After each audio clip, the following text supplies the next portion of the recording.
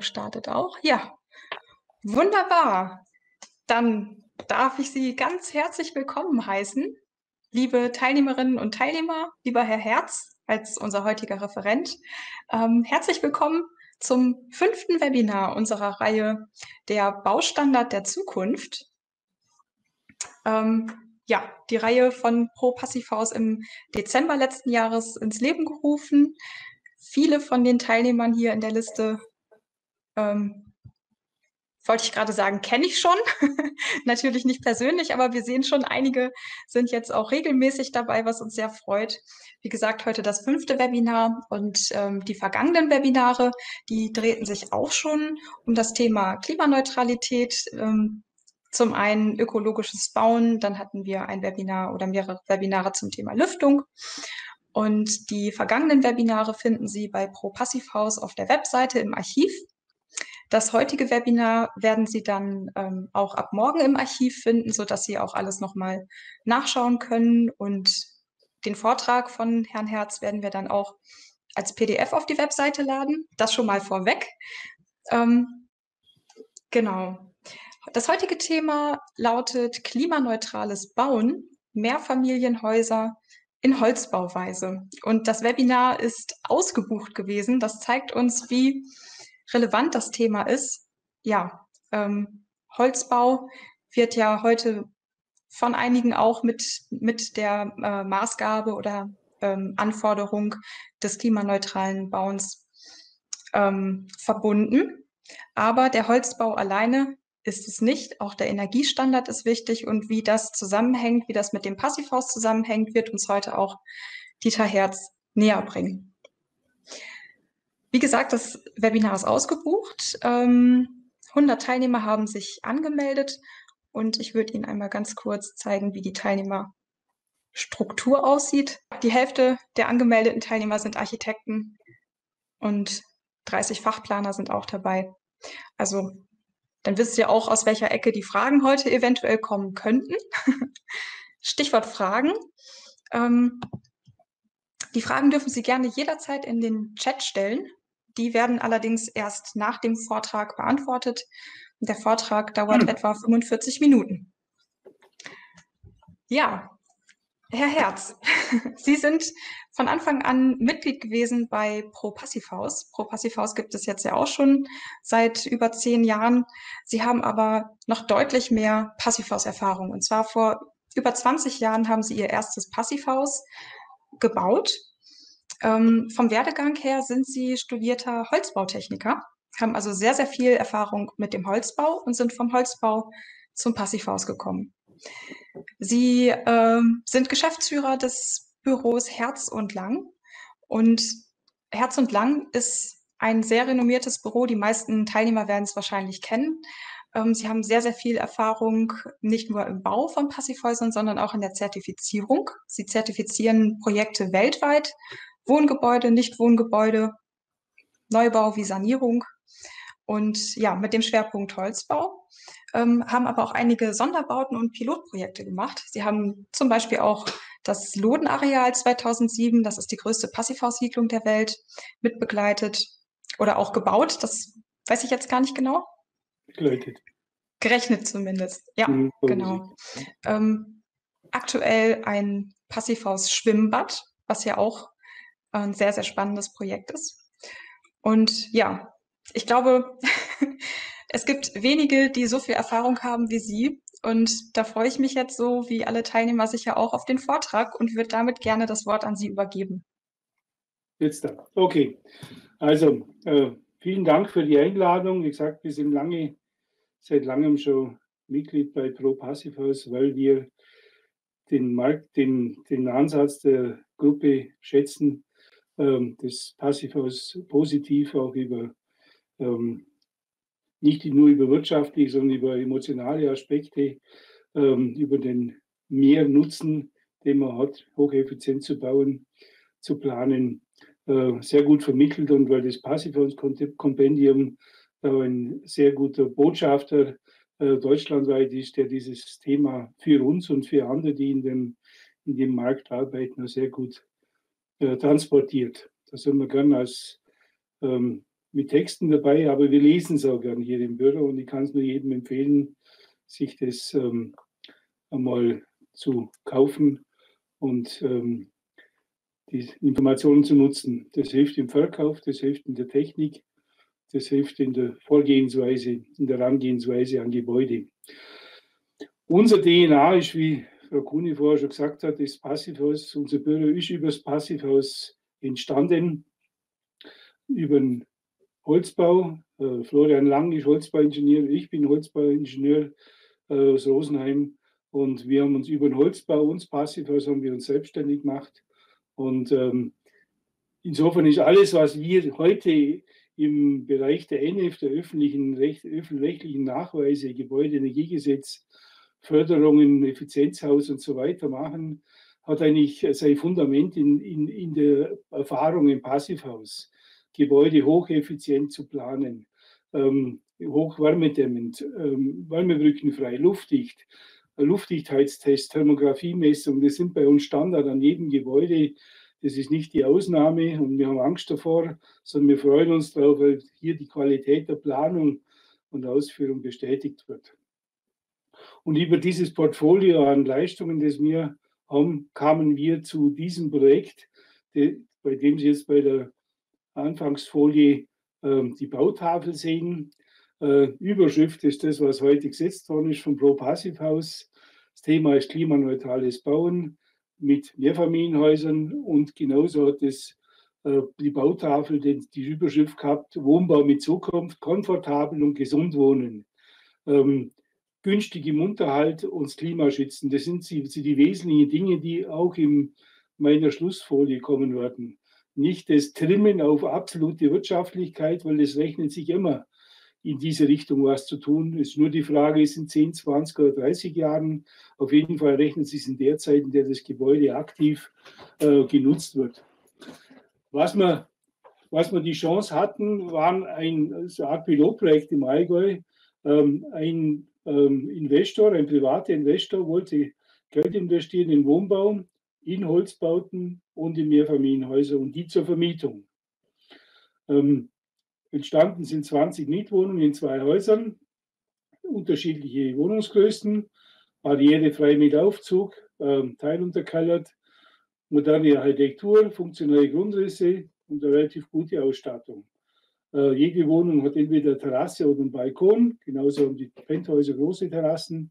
Wir haben Garagen, wir haben Carports, Außenstellplätze. Das Ganze wurde im Effizienzhaus 40 geplant und umgesetzt hat eine, jedes Haus hat eine Pellets-Zentralheizung, hat eine PV-Anlage und jede Wohnung hat eine Komfortlüftung. Also das ist so der Standard, wenn wir von Anfang an als Mindeststandard gesetzt haben und den wir auch durchhalten konnten. Wir wollten eigentlich ein bisschen mehr. Wir wollten es Richtung Passivhaus zertifizierbar entwickeln mit Holzfassaden. Verschiedene Dinge ist uns nicht ganz gelungen, aber wir haben trotzdem einen sehr guten Kompromiss zwischen unseren Vorstellungen und, und denen äh, des Bauherrn äh, machen können.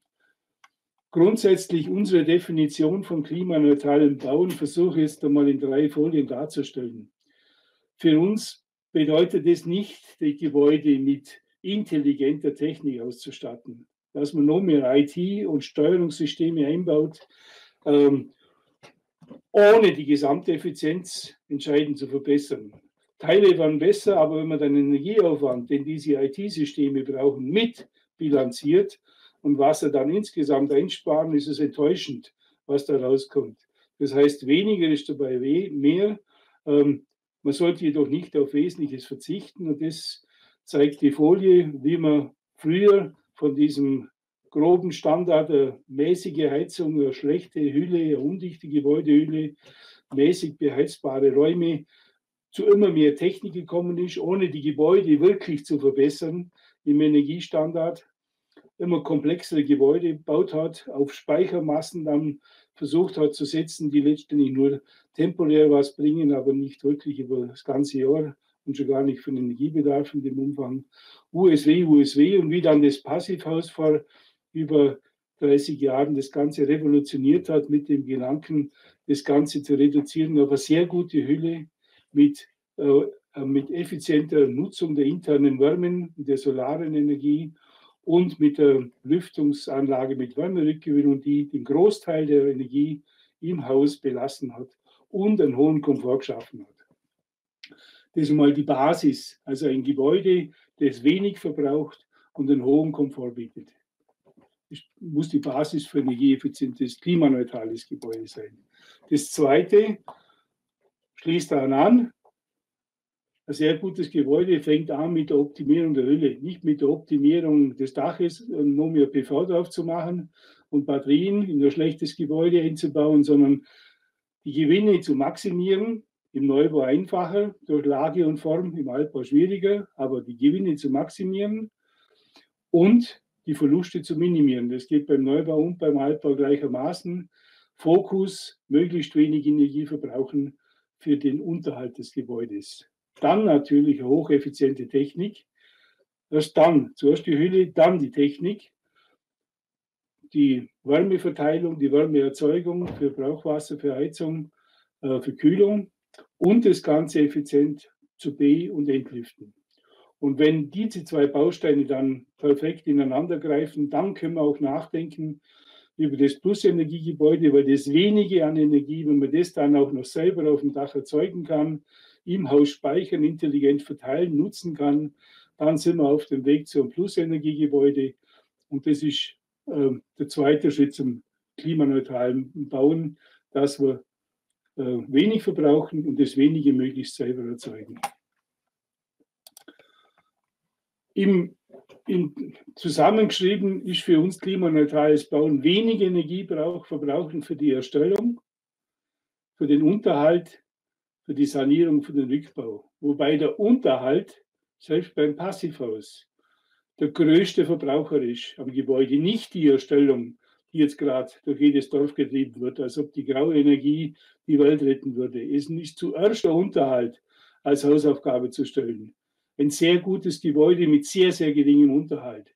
Dann natürlich möglichst mit regulativen Baustoffen, um die ähm, Erstellungsenergie, die äh, Emissionen zum, um den Ressourcenverbrauch möglichst gering zu halten ähm, und im Rückbau auch weniger Probleme zu schaffen.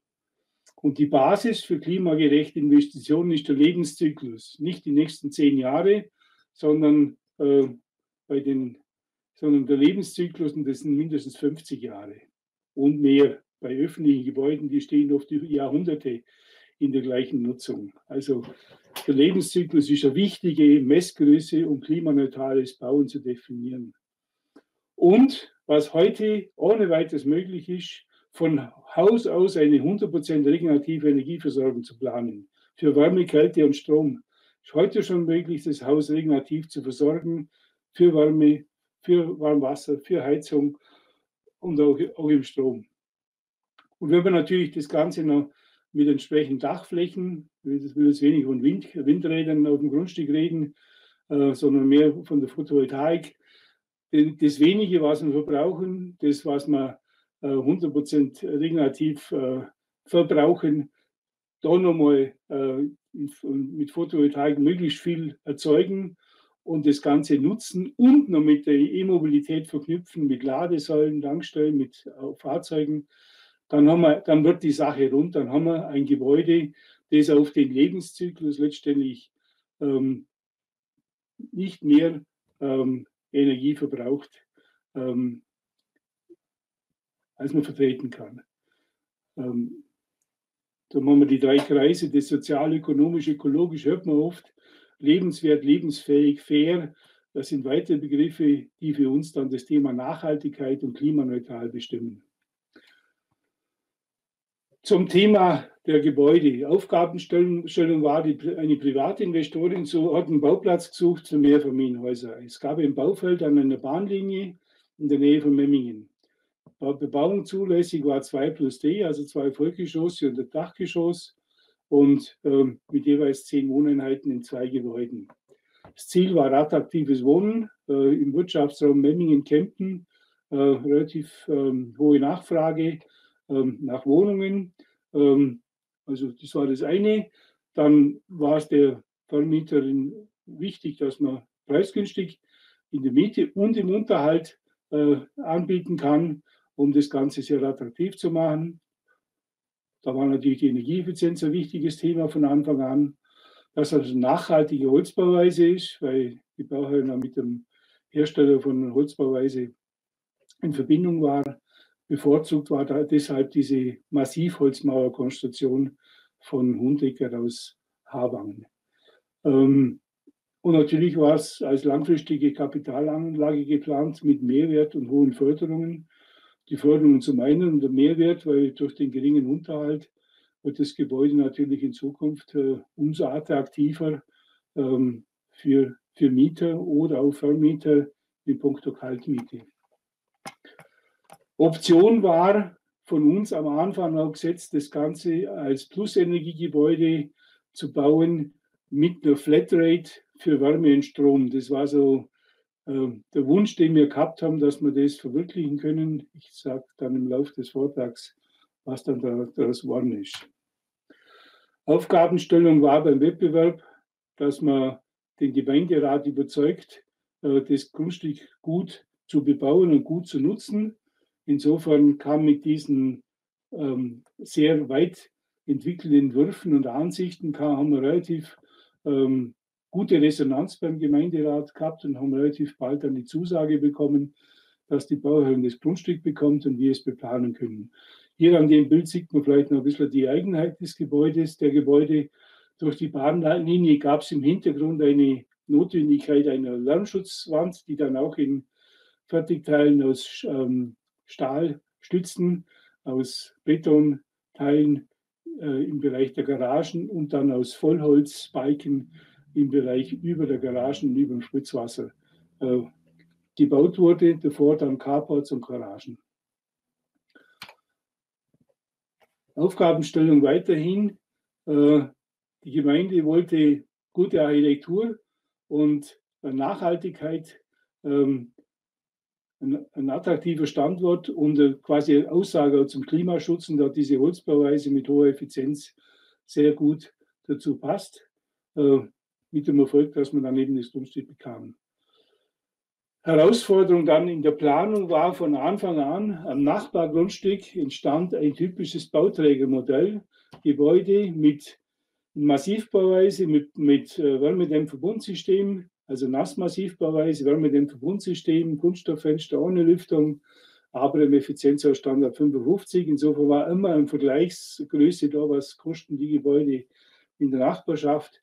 Unser Gebäude trotz Holzbau, obwohl man wusste, dass das ja in der Regel in den reinen Investitionskosten etwas teurer ist, ähm, ähm, war immer dieses Thema Kosten im Raum. Konsequenzen waren natürlich, dass man äh, verschiedene Varianten in der Planung und Kostenberechnung, in Bauweisen, in Baustoffen, Baukomponenten, auch in der Effizienz und im Energiekonzept durchspielen mussten und wollten. War natürlich auch interessant für uns, ähm, das zu erfahren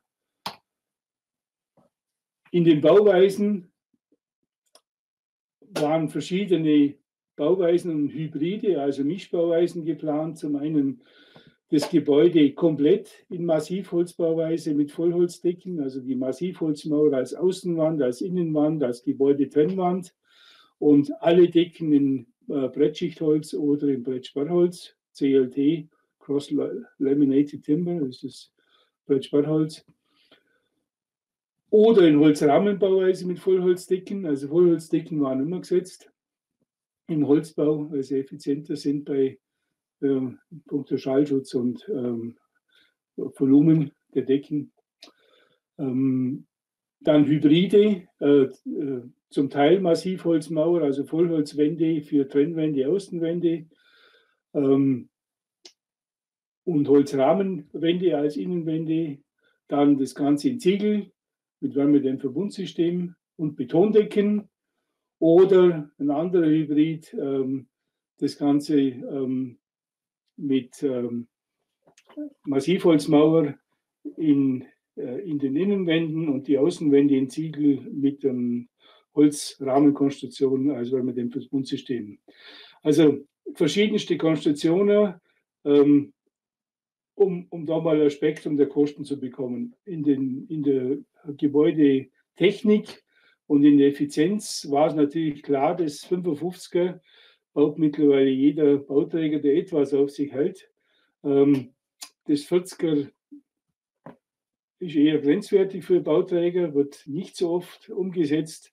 Und das 40 Plus mit Batterie, mit, mit PV-Anlage, mit Energiemanagementsystem bedarf dann ein Mieterstrommodell, weil irgendwie sollte der Strom, der im Hause dann gespeichert wird, auch entsprechend genutzt werden. Da wird es dann komplizierter. Natürlich haben wir auch versucht, das als Passivhaus zu verwirklichen, wobei zwischen 40 und Passivhaus nicht mehr allzu viel Unterschied ist. Waren nur 20 Prozent im Heizwärmebedarf. Und dann die als Passivhaus Plus, wenn PV und die ganze Technik dann noch als Passivhaus Plus. Regenerative Wärme war von Anfang an gesetzt, also kein Gas, kein Öl.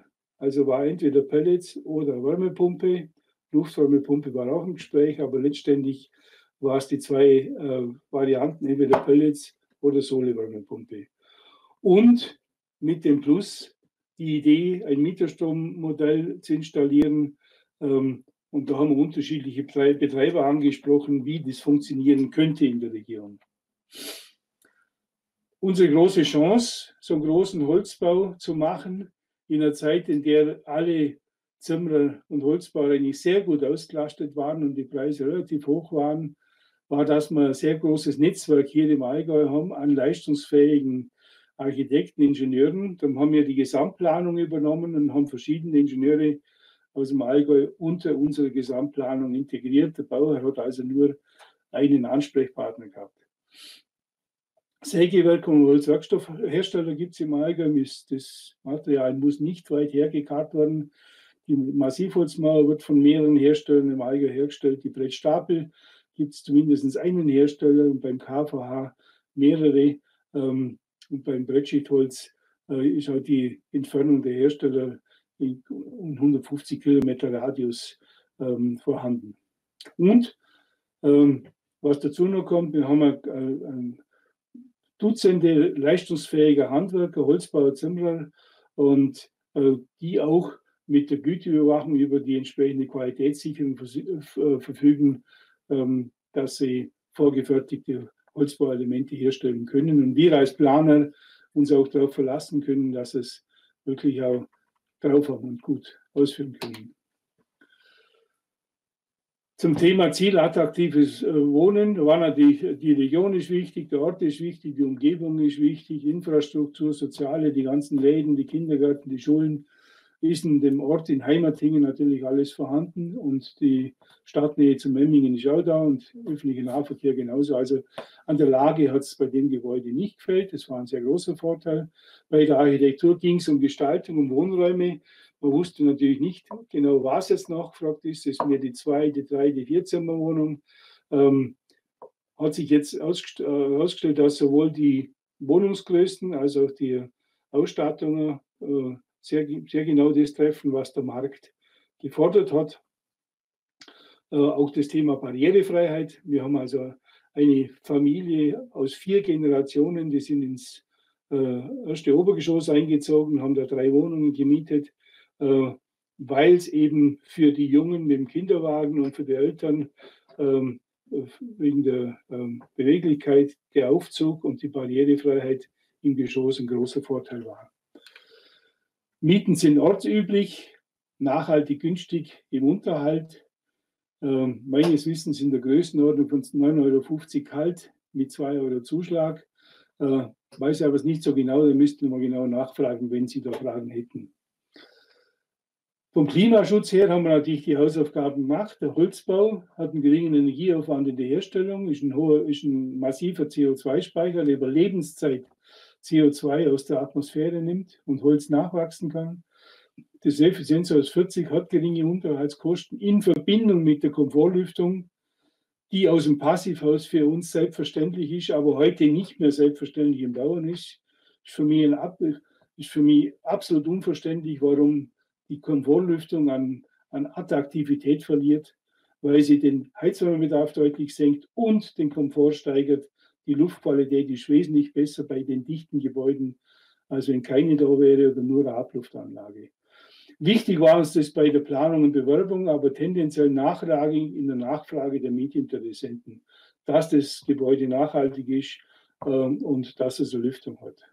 Ähm, und vielleicht das als Vorab als Info, das Plus-Energie-Konzept ist eigentlich gescheitert an dem Mieterstrommodell, das wir 2018, 2019 noch sehr komplex war, mittlerweile erleichtert worden, aber zu der Zeit war es eigentlich von den Energieversorgern nicht gewollt und entsprechend kompliziert macht, ähm, dass ein privater Bauherr äh, sich das dann gut überlegt, ob er sich das antut, ob, ihm, ob die Mieter das dann auch wertschätzen, was er da investiert hat und vorhält.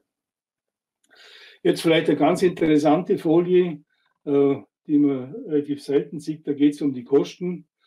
Wir haben relativ früh 2018 das Gebäude durchkalkuliert im Kostenrahmen. Eigentlich war es eine Kostenschätzung ähm, das ist die blaue, äh, der blaue Teil oben als Hybrid, also das Ganze in Massivholz äh, bis auf den Treppenhauskern und den Aufzugsschacht, den in Beton und Vollwärmeschutz als Effizienz als 40 plus mit kontrollierter Wohnraumlüftung, KWL, mit Holzfenstern und Holzfassade. Da kamen 2,244 Millionen raus. Die Förderung damals war 150.000, also 15.000 pro Wohneinheit. Äh, sprich 2,29 Millionen Baukosten als 100 Prozent gesetzt. Dann haben wir eine Kostenschätzung gemacht, etwas später, als dann schon konkreter äh, wurde, ähm, Entscheidungen zu finden. Die Kostenschätzung ist auch schon eher eine Kostenberechnung, weil sie auf Leistungsverzeichnissen basiert und äh, sehr intensiv und genau gemacht worden ist. Mit dem Ergebnis, dass äh, ein Holzbau Massivholzwände außen, Trennwände, Holzrahmenwände für Innenwände, äh, aussteifende, nicht tragende Wände, ähm, dass wir ungefähr um ein Prozent teurer gewesen wären als unsere Schätzung ein paar Monate vorher für diesen Hybrid. Okay, wenn man ganz unten das ähm, rote sieht, September 18 Ziegel war mit dem Verbundsystem, der Vergleich war der Nachbar mit dem Ziegelhaus wäre es 14 Prozent günstiger gewesen. Also war die Aufgabe von der Bauherrin, ich möchte wissen, wo die Einsparpotenziale sind, dass wir näher an diese ähm, Bauweise in ähm, Effizienz aus 55 Massivbau in den Kosten rankommen. Also haben wir ähm, den zweiten Gang ein Hybridholz mit Betontreppenhaus und Liftschacht in Beton, Effizienz aus Plus gehalten.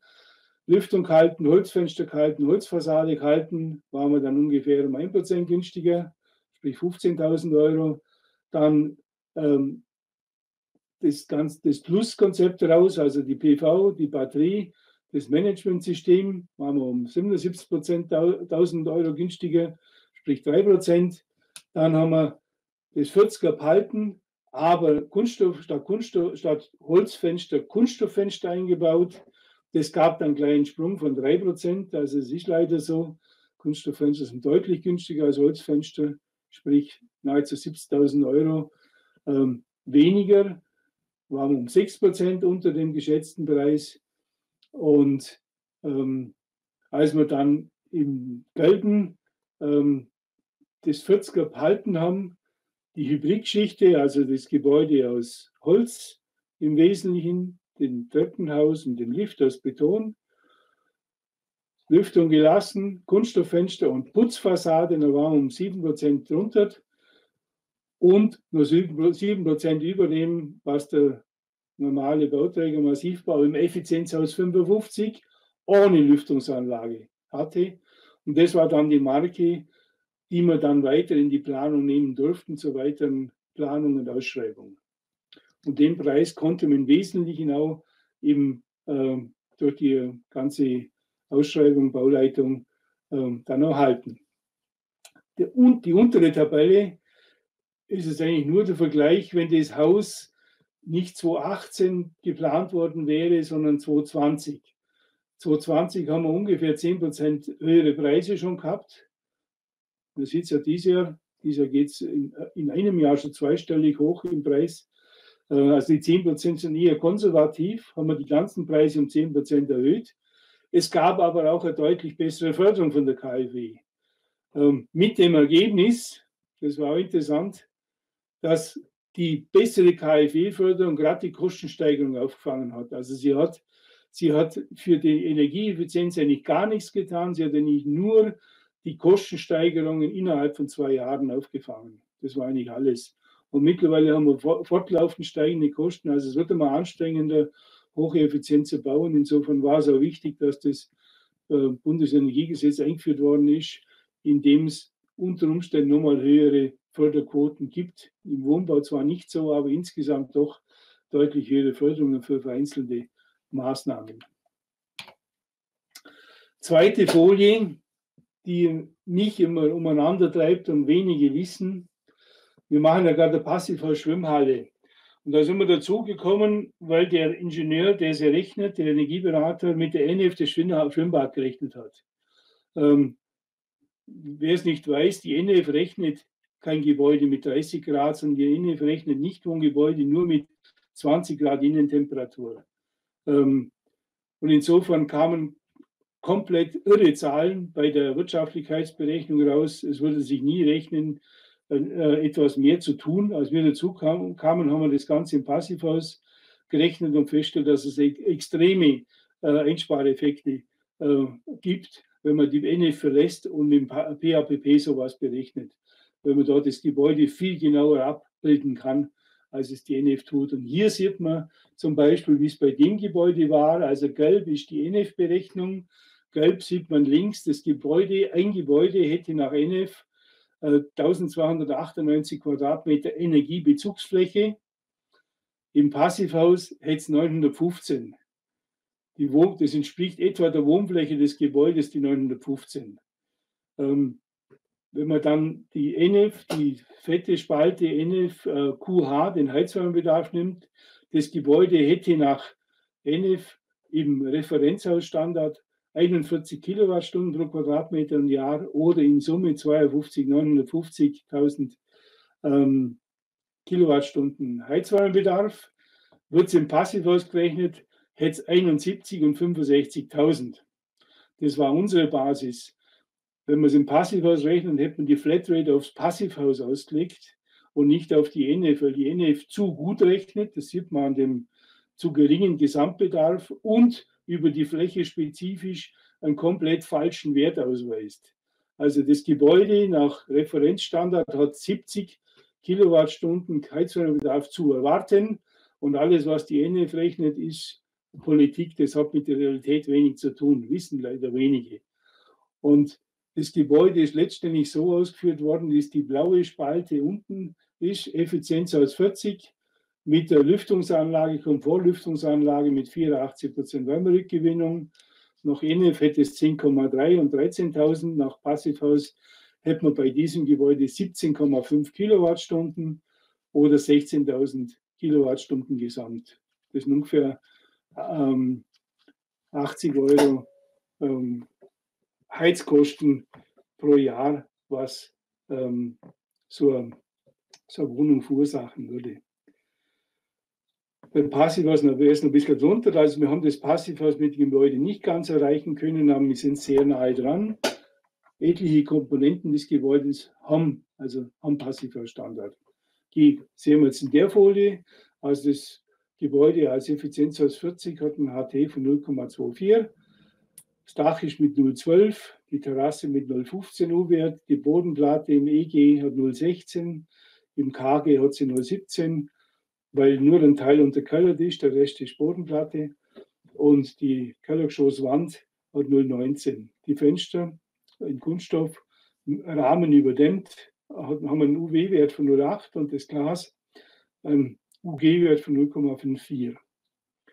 Die Außenwand im Massivbau mit dem Holzwärmedämmverbundsystem hat 0,17 und die Massivholzmauer, also diese Holzwand, die massive Holzwand mit dem Holz, weil mit dem Verbundsystem hat 0,14. Also es ist ein ähm, Thema Wärmebrücken. Das ganze Gebäude wurde in der Wärmebrückenbilanz durchgerechnet, haben wir einen leicht positiven Wert von 0,015. Also das ist von den Bauteilen im Passivhausstandard oder sehr nahe an dem dran. Zwei Bauteile oder zwei Details, die wesentlich sind beim Gebäude. Da sieht man den Schnitt der Außenwand ist 16 cm Massivholzwand, also ähm, bewusst die waren schlank, so statisch so schlank wie möglich gehalten, weil von der Holzmasse brauchte man nicht mehr fürs Klima vom Gebäude. Letztendlich war wichtig, dass wir möglichst viel Dämmung außen drauf bringen. Und die Decken wurden als Vollholzdecke gemacht, mit Beschwerung, mit äh, ähm, sehr weichen Trittschallplatte und einem, und einem Heizestrich dann letztendlich auf dem, Entschuldigung, ich habe mein Handy nicht ausgemacht. Jetzt, jetzt ist aus. Gut, ähm, das zur Decke. Äh, zur Trennwand. Die Trennwand zwischen den Wohnungen wurde genauso in einer 16 cm MAM Massivholzmauer ausgeführt und davor dann mit C-Profilen Ständerwände äh, gestellt. Die Wand wurde beplankt vorher mit, mit der Formazellplatte, dann die C-Ständer mit 50 mm davor und die nochmal zweimal beplankt. Wir haben bei den Gebäuden, hat die Firma Hundecker Messungen machen lassen, sowohl für die Decken als auch für die Trennwände, äh, als auch für die Installationen. Und wir sind überall deutlich im sicheren Bereich von dem, was wir äh, berechnet und geplant gehabt haben. Also es hat sich, hat sich bewährt. Vielleicht noch ein Hinweis zur Außenwand.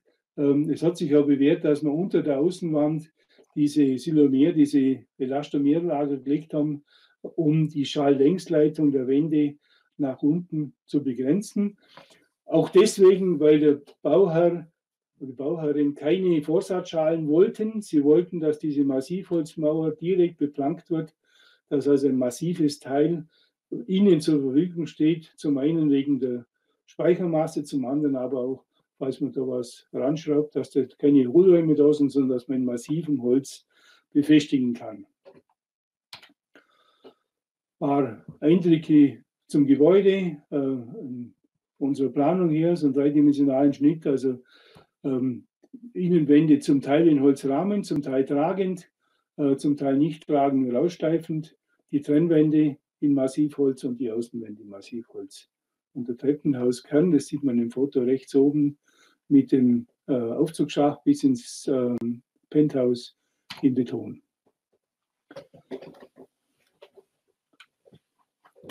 So ein typischer Schnitt der Massivholzmauer. Das sind Brettlagen senkrecht und waagrecht und die Bretter sind gefräst, damit da mehr Luftpolster entsteht. Dadurch wird der Lambda-Wert der Wand auch deutlich geringer, als er bei normalem Holz wäre. Decken in Brettschichtholz beziehungsweise in Brettsperrholz im Dach, weil man im Dach eben nicht nur eine einseitige, sondern zweiseitige Auskragung über die Stütze hatten und es geht eigentlich äh, elegant nur dann mit diesem äh, kreuzweise verleimten Brettsperrholz. Auf dem Dach war Mineralwolledämmung, weil wir in der Einflugsbereich des Memminger Flughafens liegen und durch das haben wir höhere äh, Schallschutzwerte erreichen müssen von Seiten des Daches. Vollwärmeschutz als Holzkonstruktion, also das Gebäude wurde in Massivholzmauer und in Beton bzw. Ziegel erstellt und bekam dann außen diese Verkleidung mit einer äh, Art Holzrahmenwand, die mit Holzweichfaser ausgefüllt war und dann letztendlich mit der Holzweichfaserplatte beplankt wurde und dort auch entweder verputzt oder mit Holz verkleidet wurde. Flachdach bekiest mit PV-Anlagen, jedes Haus hat 30 kW Peak. Ähm, im Einspeisebetrieb, also wird im Haus nicht physikalisch nutzt, aber äh, effektiv wird alles verkauft und der Rest eingekauft. Die Häuser sind bezogen worden, das erste im Ende letzten Jahres und äh, das zweite stimmt jetzt nicht, am, im März diesen Jahres bereits, nicht im Mai.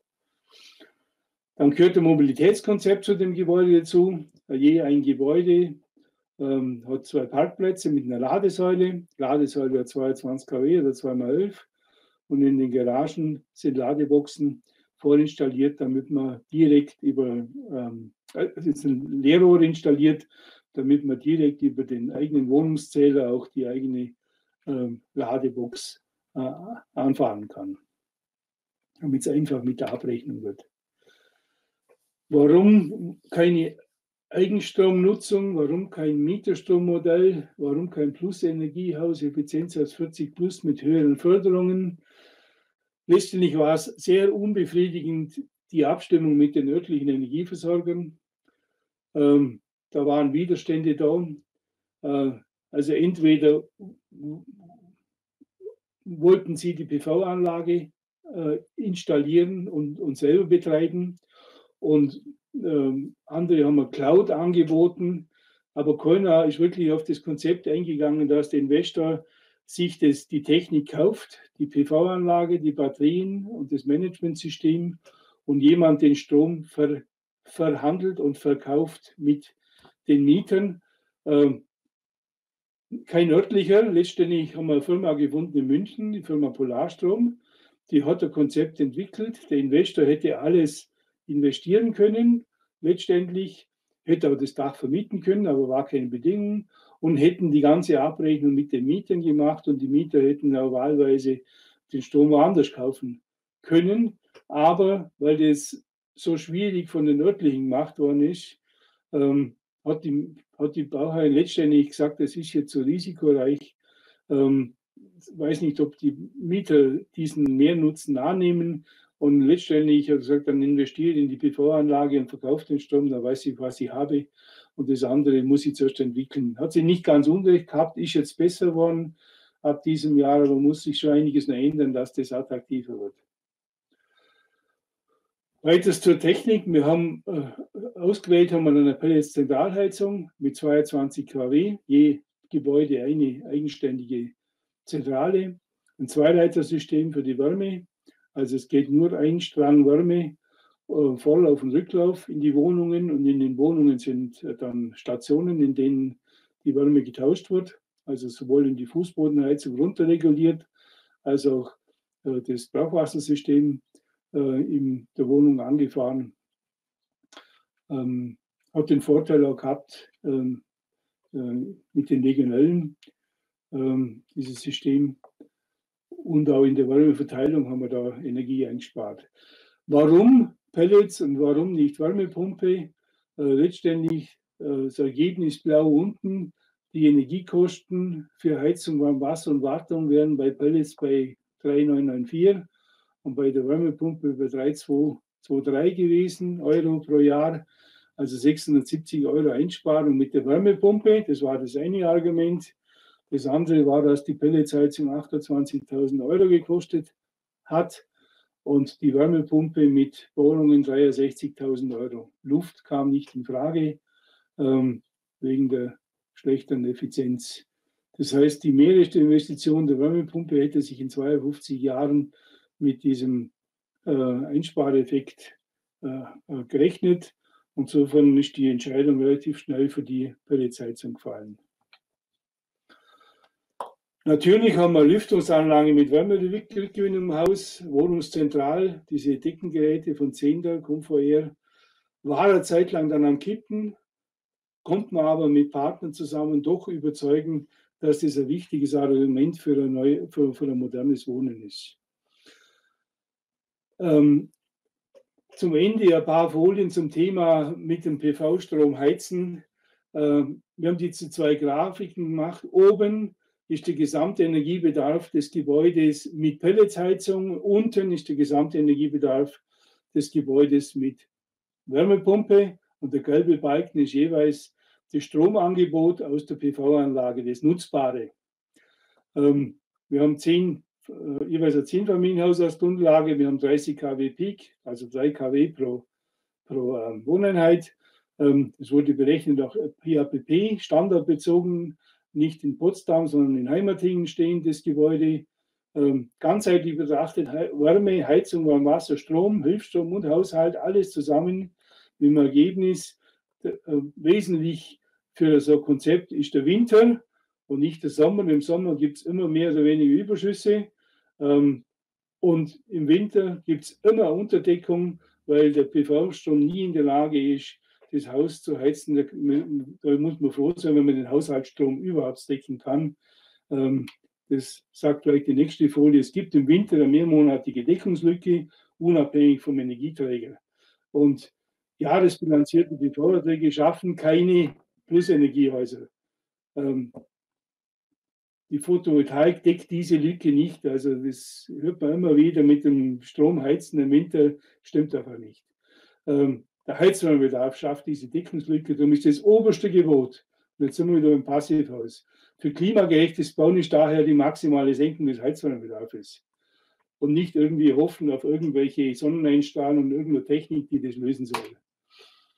Und wenn wir dann jetzt zum Holzbau, wenn wir Richtung klimaneutrales Bauen jetzt gehen und den Holzbau mal vergleicht auf einen Lebenszyklus von 100 Jahren, dann haben wir bei einem links bei einem NF-basierten oder GEG-Massivbau ähm, bestimmter CO2-Ausstoß für die Herstellung, für den Betrieb, für den Rückbau und so weiter. Und wenn wir rübergehen, Massivbau, Passivhaus, Holzbau, Passivhaus, und wenn wir beim Holzbau noch die ein gelagerte CO2-Menge nimmt, dann kommt man eigentlich zum Schluss, dass bei so einem hocheffizienten Gebäude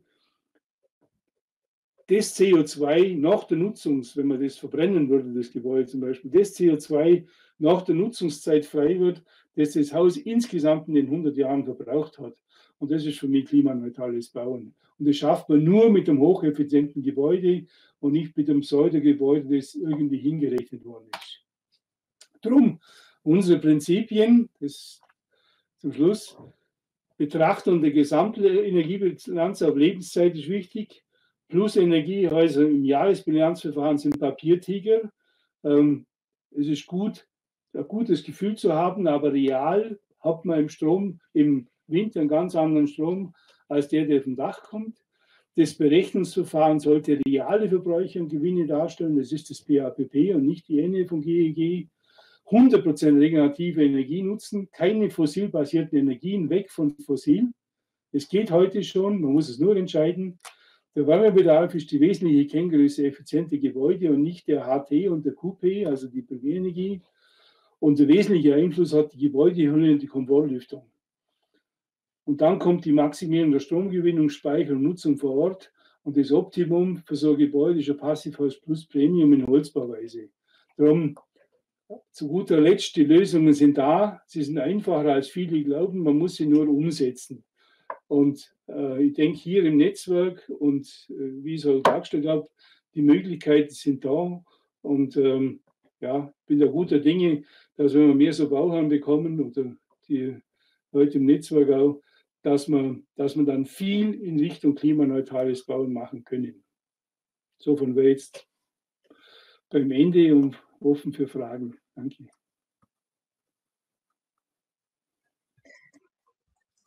Ja, vielen herzlichen Dank, Herr Herz. Sie haben den Vortrag selber schon sehr gut zusammengefasst. da kann ich mir Zusammenfassung, glaube ich, sparen.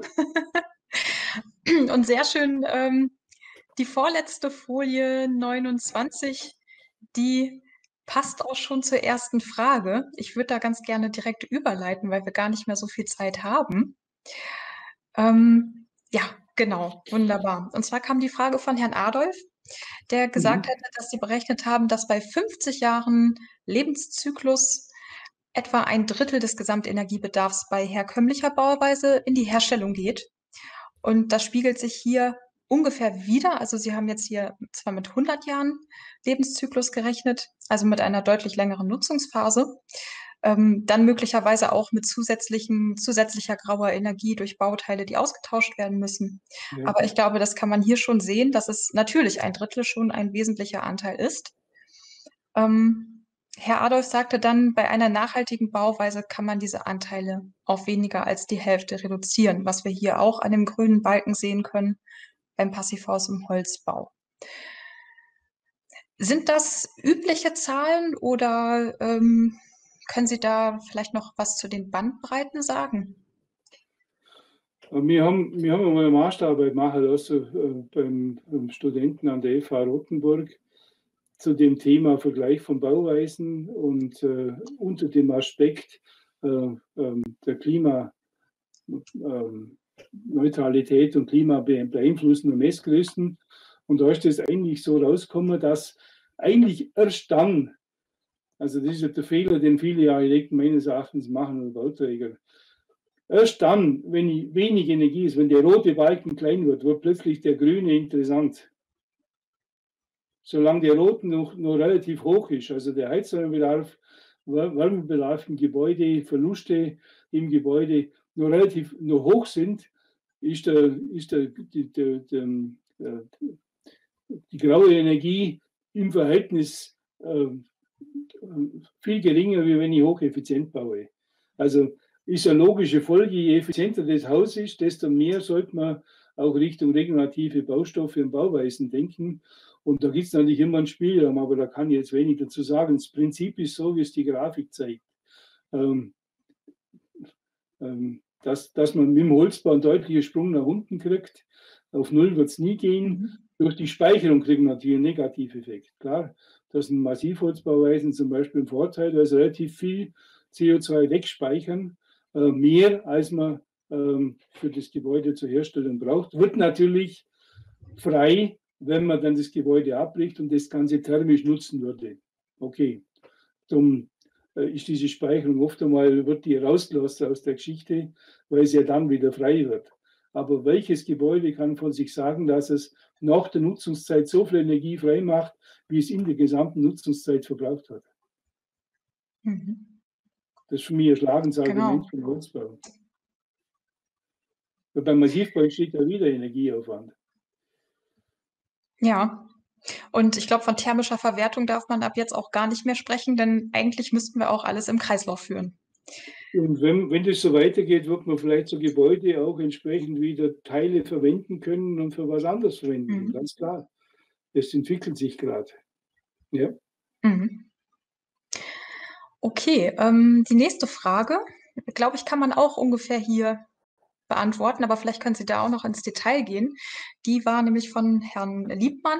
Wie ist der Vergleich von ENEF zum Gebäudeenergiegesetz? Das ist gleich. Hat sich da viel verändert? Es war ja der, Besch war ja der Beschluss der, der, Koalition, dass die ENEF 2016 im, im GEG e integriert wird und nicht für, und keine Verschlechterung, äh, keine Verbesserung stattfinden darf, also ähm, keine Verschärfung stattfinden darf. Und wenn man es jetzt so genau durchrechnet und wenn so Fachleute wie der Feldmann, der da schon Vorträge gehalten hat, ähm, das Ganze aufzeigen, darf man mit verschiedenen Energiequellen, zum Beispiel äh, Biogasverwendung, darf man zum Teil sogar schlechter bauen, als man 2016 bauen durfte, eigentlich so schlecht, wie man 2002 bauen durfte, weil ja dieses Kriterium HT wegfällt. Es wird ja nur noch am QP mhm. gerechnet und das, und das Referenzgebäude bildet den, den zulässigen HT-Wert ab. Das heißt, es kann viel schlechter gebaut werden, wenn man auf der anderen Seite im QP ähm, seine Hausaufgaben macht. Und das war 2002 der Fehler, den die NF gehabt hat, als man nur den QP gemacht hat, als dann die Massivbauer plötzlich wieder mit der 36,5er Ziegelwand gekommen sind, aber ihre Häuser mit Holz geheizt haben. Dann hat man den HT eingeführt. Und damit ist das ähm, ähm, fairer, die ganze Geschichte geworden. Auch die Massiven mussten sich verbessern, nicht nur der Holzbau. Und, ähm, und jetzt hat man eigentlich wieder so eine Tür geöffnet, dass man wieder schlechter bauen kann wie vorher. Also ich bin sehr schwer enttäuscht mhm. vom Gebäudeenergiegesetz. Das hat mit Klimaschutz nichts zu tun. Das hat nur den, ja.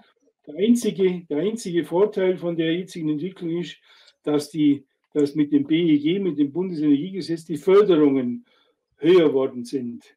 Wobei das zum Teil auch eine Rosttäuscherei ist, wenn ab 1.7.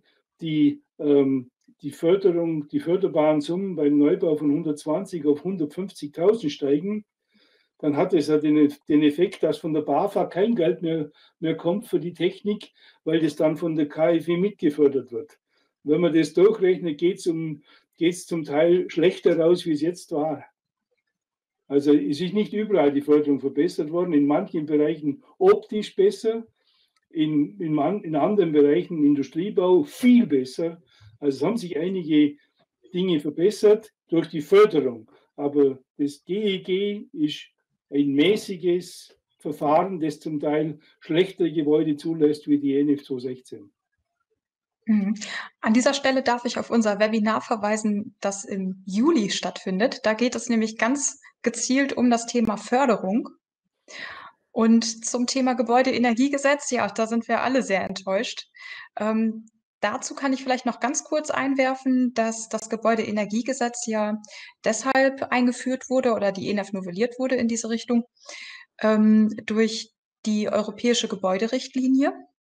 Und die EPBD, Gebäuderichtlinie, wird in diesem Jahr oder soll in diesem Jahr ähm, auch wiederum auf europäischer Ebene novelliert werden. Und da haben wir uns als Pro-Passivhaus auch ähm, beteiligt. Wir haben einen Kommentar an die Europäische Kommission gerichtet, wo wir genau diese ähm, ja, Missstände, sage ich mal, oder die, die Berechnungsmethode der ENEF vor allen Dingen auch ähm, darauf hingewiesen haben, dass das eben nicht zum äh, tatsächlichen, nicht zu tatsächlicher Energieeffizienz führt. Und damit komme ich zur nächsten Frage. Ähm, denn Herr Lambrecht hatte gesagt, dass man ja doch durchaus mit der ENEF auch Schwimmbäder korrekt berechnen könnte, wenn man das Nutzungsprofil 17 verwenden würde, was sonst normalerweise für Aufenthaltsräume gilt. Da könnte man dann ähm, ja die äh, 30 Grad Raumtemperatur vermutlich hinterlegen, aber reicht das aus? Also ähm, wenn man möchte, könnte man sicherlich mit der ENEF oder auch mit der 18, mit der 18599, sage ich jetzt mal ganz allgemein, könnte man sicherlich ähm, vieles machen. Aber der Punkt ist hier, glaube ich, eher, dass man es nicht muss. Und wenn man diese Berechnungsgrundlage nicht verwenden muss, also nicht mit korrekten Zahlen rechnen muss, dann wird man es in der Regel auch nicht tun. Und auf der anderen Seite ist das PHPP eben genau so entworfen, dass man dort die projektspezifischen Randbedingungen und auch das örtliche Klima verwendet die örtliche Verschattungssituation, die man auch mit Design PH gut abbilden kann, was Sie auch gemacht hatten, Herr Herz. Ähm, ja, äh, möchten Sie sonst zur 18599 zu den Nutzungsprofilen noch etwas sagen? Ich jetzt bezahlen? Nein, äh, ich, ich rechne nicht mit 1899, das sind meine Mitarbeiter, die damit rechnen, also da kann ich jetzt bloß was Falsches sagen. Okay. Gut, aber ich glaube, das kann man schon so festhalten, dass eben ähm, die Berechnungsgrundlage eine grundsätzlich andere ist. Ähm, dann gab es noch einen.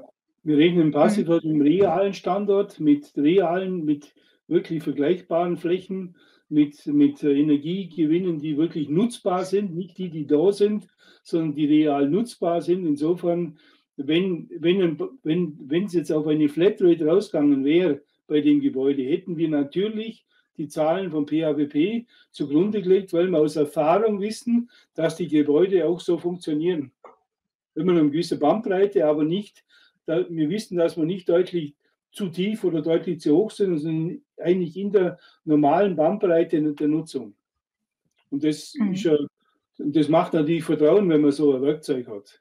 Und wenn man auf der, auf der Basis auch eine Beratung aufbaut. Bei der NF sind es eigentlich ja. mehr oder weniger nur Vergleiche, die man machen kann. Äh, die Basisgröße ist immer ein großes Fragezeichen.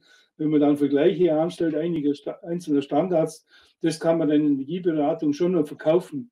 Aber wenn ich was Genaues machen will, dann nehme ich das PAPP. Mhm. Okay, ähm, ganz kurz dazu noch, der Herr Lambrecht sagte, es wäre dann nicht das Nutzungsprofil 17, sondern man müsste ein eigenes Nutzungsprofil entwickeln. Danke für die kleine Korrektur, da hatte ich das falsch verstanden. Ähm, wir haben jetzt noch zwei, drei Fragen. Vielleicht können wir das noch kurz machen mit Blick auf die Zeit. wir hätten noch eine Minute. Ähm, also erstmal ein Lob, super Vortrag, Herr Herz. Äh, auch das fand sich hier schon im Chat. Ähm, dann gab es noch einen Linktipp zu den Bürgerwerken von Herrn Gessler ähm, in Bezug auf das Thema Mieterstrom. Und auch da ein ganz kurzer Hinweis, vielleicht haben Sie schon mal von dem Wattbewerb gehört. Das ist ein Wettbewerb, der in Deutschland zwischen Städten aktuell stattfindet, Anfang des Jahres gestartet. Und da geht es darum, die PV-Leistung so schnell wie möglich zu verdoppeln. 75 Städte sind schon dabei, unter anderem auch Köln, Aachen, Hannover. Genau. Da tut sich also einiges im Bereich Photovoltaik aktuell. Ähm, dann eine ganz interessante Frage ähm, von Herrn Binz. Ähm, worauf gründet Ihre Info, Herr Herz, dass das Interesse an Komfortlüftung rückläufig ist?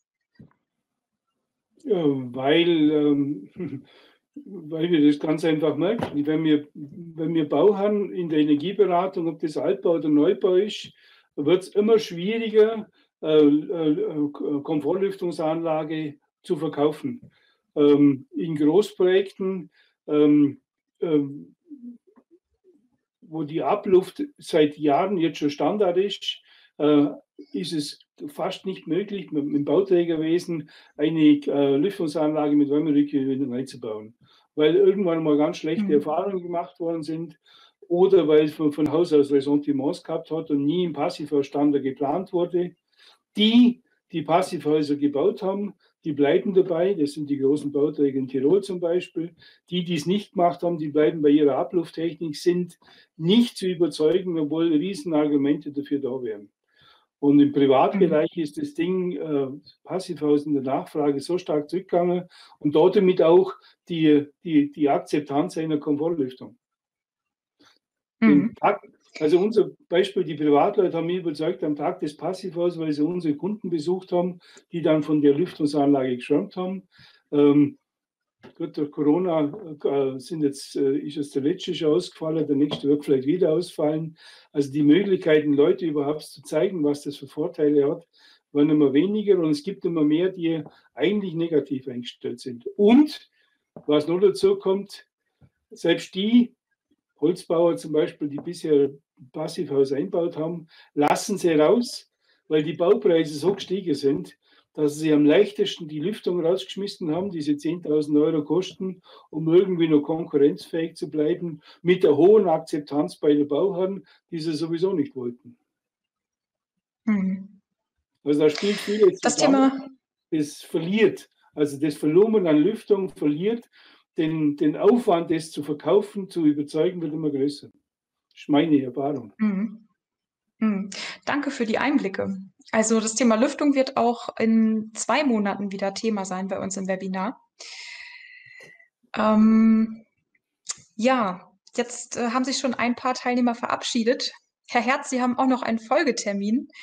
Ich gucke jetzt einmal noch fix durch, ob was ganz Dringendes, ja, dringend, ich meine, schön wäre natürlich alle Fragen zu beantworten.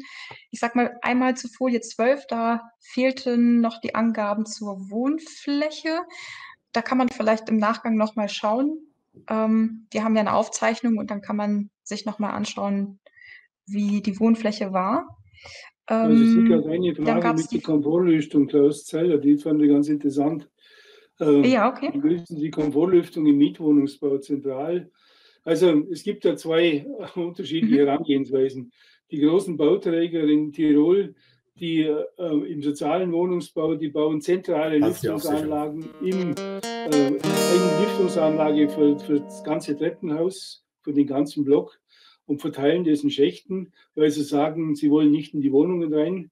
Ähm, Thema Sozialmieter sei schwierig, die Leute oft anzutreffen, zu überzeugen. Ähm, ähm, im, im, also das Gebäude, das wir jetzt gemacht haben und auch andere äh, Partner von uns, die so Gebäude mitplanen, die bauen wohnungszentrale Lüftungen ein. Hat den Nachteil, dass der Mieter oder der Käufer äh, der Wohnung den Filter wechseln muss. Wir haben da aber relativ gute Erfahrungen, wenn der Hausmeister den Mietern diese Filter regelmäßig zur Verfügung stellt, werden sie auch getauscht ähm, beziehungsweise die Geräte fangen auch an, gute Geräte zeigen das an, dass der Filter gewechselt werden muss. Also in meinem Haus, ich habe Zehnder, große Zehnteranlage, meine Frau, wenn es piepst, dann kommt sie zu mir und sagt, die Anlage piepst, wir müssen den Filter wechseln. Also ähm, der Filterwechsel ist einfacher als ein Staubsaugerbeutel wechseln. Also das funktioniert schon, wenn man die Filter regelmäßig zur Verfügung stellt und die Leute auch informiert über das Ganze. Mhm. Ja, und das Zentrale schön. ist eigentlich das, was man vermeiden will, diese großen Geräte, Riesenschächte, Brandschutzklappen und so weiter. Das ist eigentlich das, wo man tendenziell eigentlich weggehen will. Aber die großen Vermieter, die wollen eine zentrale Einheit und da eben den einmal den Filter wechseln und nicht 30 Mal und da vielleicht vier, fünf Mal an der Wohnung anklopfen müssen, bis der aufgemacht wird. Das ist aber speziell was im sozialen Wohnungsbau in Tirol. Mhm. Wir wollen es nicht dezentralisieren. Gut. Eine Frage kann ich vielleicht mit einem Satz beantworten, Herr Pauk, ob die bei den realen Bedingungen auch die solaren Wärmegewinne berücksichtigt werden. Ja, das werden sie. Und es gibt auch ein Verfahren im PHPP zur Berücksichtigung im Sommer. Also der sommerliche Wärmeschutz wird im PHPP auch gerechnet. Ja. Das, äh, Herr Herz, Sie dürfen natürlich auch gerne ausholen. ich glaube, ja, wer jetzt noch da ist, ist auch nicht böse, noch eine längere Antwort zu hören, aber ich möchte Ihre Zeit nicht überstrapazieren. Ja, schon. Ja. so. Danke für die vielen praxisnahen Erfahrungen.